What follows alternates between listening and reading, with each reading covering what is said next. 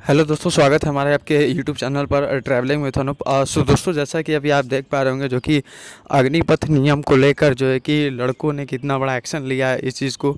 और मतलब हर स्टेट में बात किया जाए, हर स्टेट में बिहार में, उत्तर प्रदेश में जैसा कि अभी बनारस में भी आपने देखा और बलिया में भी इस तरह का जो है कि माहौल बना हुआ है। और जो कि जितने भी स्टूडेंट हैं इस चीज़ को नाराज़ हैं और इस पर की एक्शन जो है कि बना रहे हैं आप सभी देख सकते हैं प्रयास ये लोग भी कर रहे हैं देखते हैं।